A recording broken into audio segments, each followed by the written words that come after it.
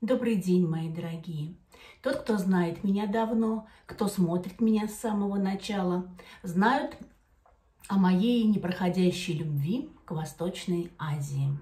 Это не только культура Восточной Азии, но и, конечно же, э, кулинария, кухня азиатская. Это просто нечто. Я это все обожаю. Поэтому сегодня у меня для вас очередной рецепт.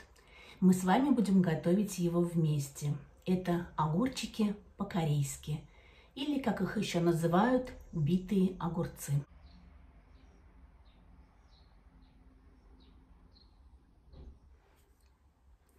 Я беру грамм 500-600 огурчиков свеженьких и для начала срезала все ненужные части с двух сторон и раскатываю их скалочкой так, чтобы они немного захрустели.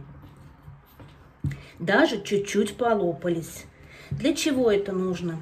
Чтобы маринад хорошо проник внутрь огурчиков.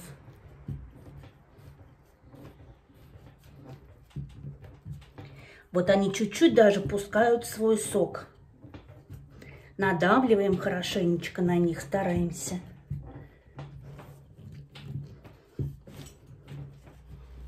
Можно вот так вот даже отдельно по каждому огурчику пройтись. Слышите, как хрустят? Оба. Так. Ой! Ой-ой-ой!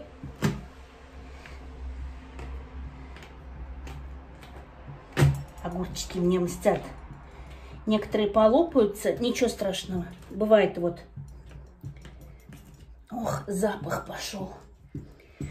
Все.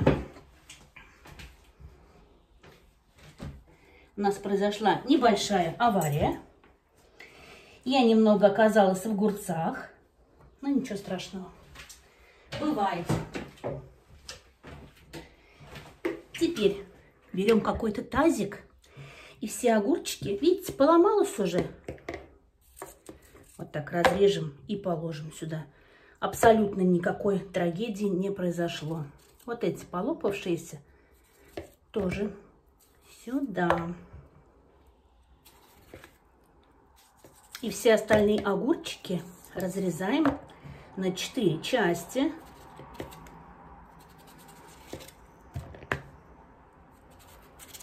И отправляем в тазик. Главное их хорошо раздавить чтобы они вот так даже плеваться начали соком своим.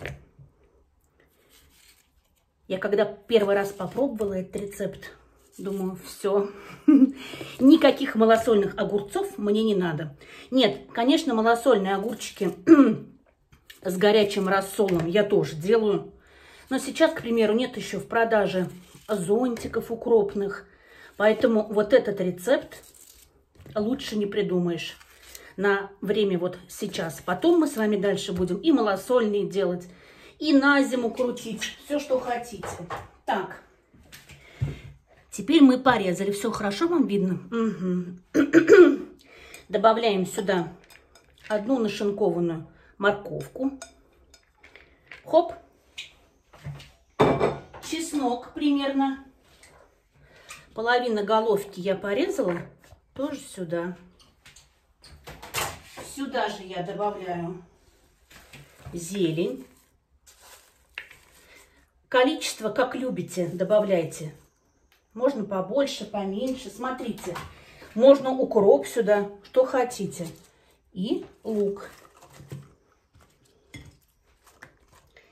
Дальше. Сюда же у нас идет одна чайная ложка сахара. 2 чайные ложки соли с горкой.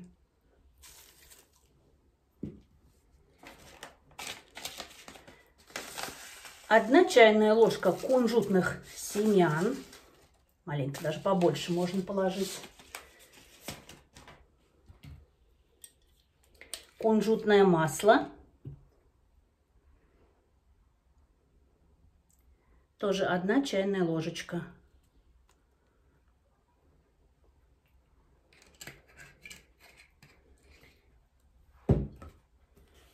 Уксус столовый. Одна чайная ложечка. Так, теперь по вкусу добавляем просто на глаз.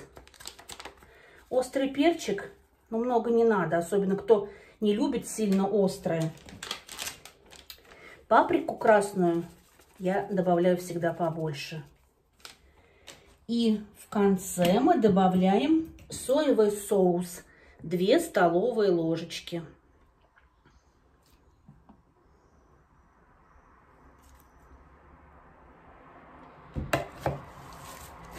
Все хорошенечко перемешиваем.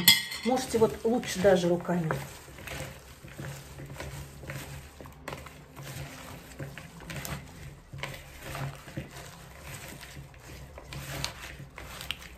Перемешали вот так все хорошенечко.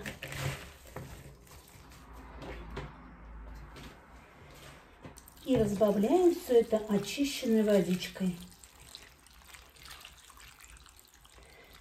Так, чтобы огурцы были покрыты полностью.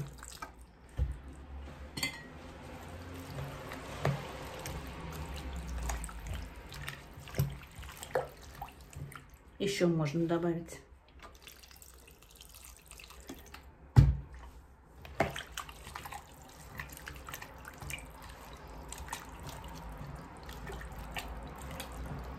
Все.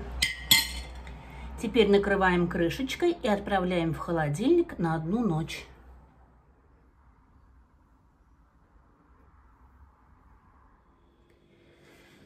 Так, у нас прошло 12 часов. Посмотрим, что у нас получилось тут.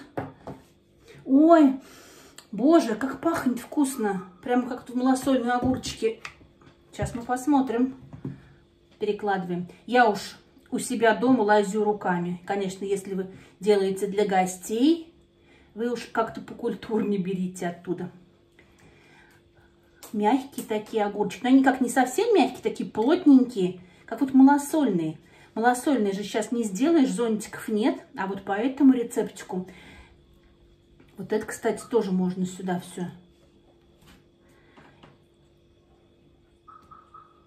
Кто лучок любит, чеснок. Надо попробовать. М -м -м. Фантастика. Ммм, как вкусно. И самое главное, быстро. Готовьте, не пожалеете.